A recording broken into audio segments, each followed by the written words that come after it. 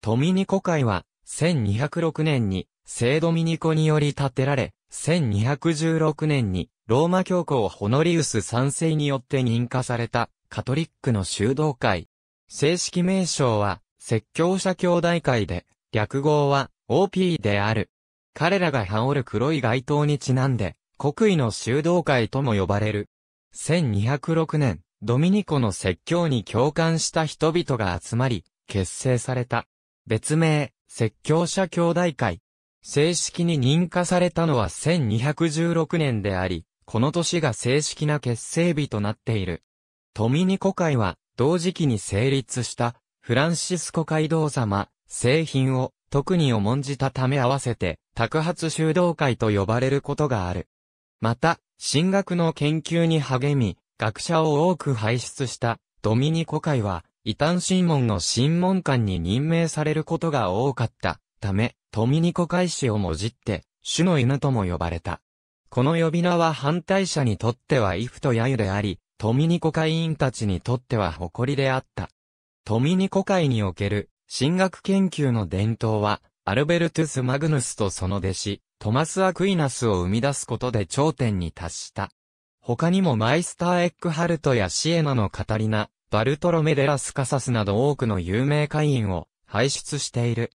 19世紀の後半には、反教会的な風潮に押されて、トミニコ会は著しく衰退していたが、フランスから刷新運動が起こり、ヨーロッパとカナダへ波及した。また、スペインの植民地だったフィリピンも中世以来ドミニコ会の重要な活動拠点となっており、現在に至っている。初めて日本を訪れたトミニコ会氏は1592年にフィリピンから到来したフアンコボであった。彼はフィリピン総督の施設として来日し、豊臣秀吉に謁見した。フィリピン総督の書状を渡したコボは秀吉からの書簡を受け取って帰路に着いたが、台湾沖で遭難した。1600年、教皇クレメンス8世はそれまで、イエズス会のみに認可されていた日本での宣教活動を正式にすべての修道会に認めた。これを受けたマニラのドミニコ会員5名がスペイン船に乗って日本へ渡り、1602年、薩摩の古式島で最初の宣教活動を行った。彼らは薩摩本国へも渡り、古式島と川内の京博で宣教した。1606年には京博にロザリオの聖母制度を建立したが、1609年に入ると迫害が起こり、宣教師は薩摩から追放された。